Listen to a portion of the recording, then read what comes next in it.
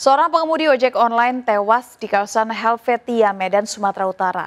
Korban yang tengah membawa penumpang tertabrak truk saat akan berbelok arah. Kecelakaan membuat arus lalu lintas macet hingga dua jam lamanya. Dibantu para pengendara ojek online, petugas medis mengevakuasi jenazah ke ambulans. Seorang pengemudi ojek online tewas di kawasan Helvetia, Medan, Sumatera Utara. Korban bernama Saroni, 35 tahun, warga Kecamatan Medan Timur. Bermula saat korban tengah berboncengan bersama seorang penumpang wanita dari Jalan Helvetia menuju Pulau Brayan. Saat akan berbelok arah di jalan pertempuran, tiba-tiba kendaraan korban ditabrak truk tangki dari belakang.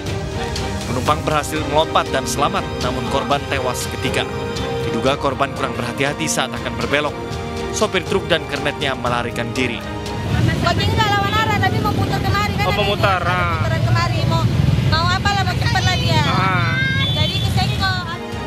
Jenazah korban telah dievakuasi ke Rumah Sakit Piringa di Medan. Kasus ini telah ditangani Satlantas Polsek Medan.